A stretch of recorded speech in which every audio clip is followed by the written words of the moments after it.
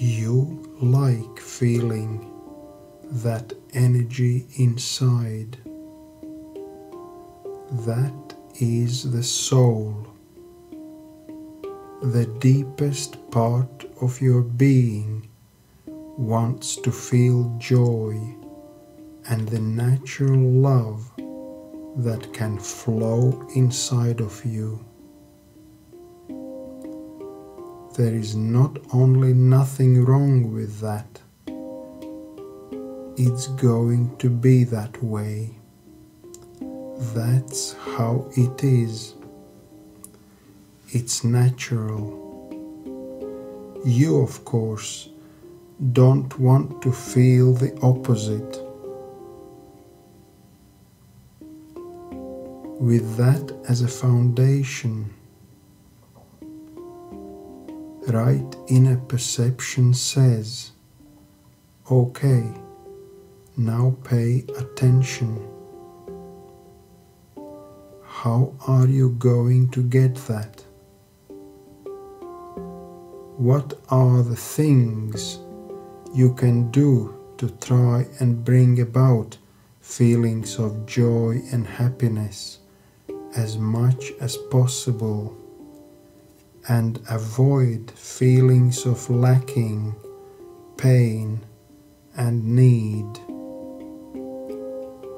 The entire human race, with few exceptions, believes the mind is very smart. The mind says, I have noticed that when such and such happens outside, I feel joy inside. It's just the truth. I'm sure you've seen that. I'm sure you've noticed that. If another thing happens outside, I feel disturbed inside. I feel hurt. I feel not well. Okay? Therefore, I need to get the things to happen outside that make me feel good inside and avoid the things outside that make me feel bad inside. Have you ever found yourself doing that? You'd better smile. If you are not careful, you will spend your entire life doing that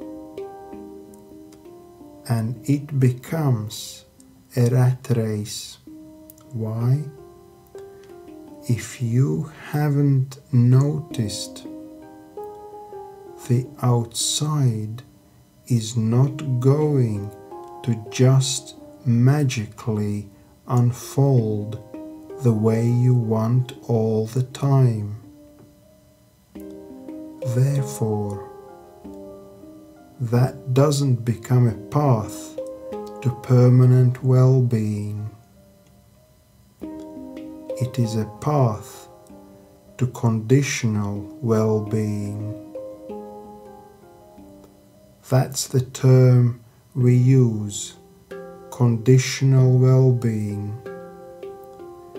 It's conditioned upon an event happening outside that when it comes into you for some reason stimulates happiness, joy, and love. It can be a person in front of you. It can be a job. It can be a task to do. You really like it you are excited about it.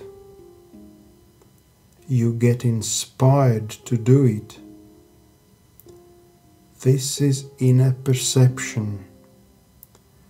it's not complicated. It should be simple, simple to understand. Why? Because it's the truth. Things happen outside.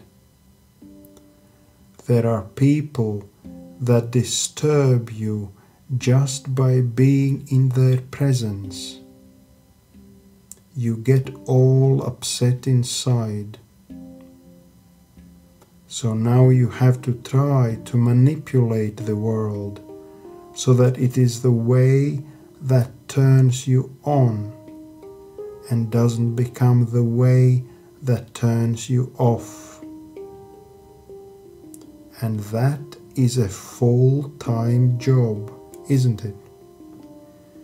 You have to constantly be manipulating people, manipulating situations. First, you have to decide what is it that will make me feel good. And so you go to your memory bank to figure out what happened before that made you feel good and what happened before that made you feel bad. And I'm telling you, that's where you get your preferences. Some people say the great deep teachings teach you shouldn't have any preferences. The great way is not difficult for those who have no preferences. But that's incomprehensible to a normal person. I have preferences. I have lots of preferences. And I am very committed to my preferences. I don't buy into not having them. How did you get those preferences? Where did they come from? It's not true that you were born with them. It's not some genetic thing. Basically, you have preferences. What are preferences? Preferences are things that your mind has analyzed and figured out. If these things happen, they will make me feel good inside. Therefore, that's my preference. and it has looked at it and is now saying, if those things happen, it will make me disturbed inside. So that's not my preference. That's where you got your preferences. You analyzed your past experiences. That's the data you have in there.